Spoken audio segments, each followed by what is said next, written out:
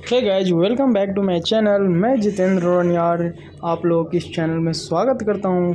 तो दोस्तों, ये आप जो देख रहे हैं, इतनी अच्छी पैलेस तो ये है राजेंद्र पैलेस, दिल्ली का, जो कि ये एक रेस्टोरेंट है और इतनी अच्छे से डिज़ाइन किया गया रेस्टोरेंट है, जैसे लग रहा है कि कोई ट्रेन का बॉगी है।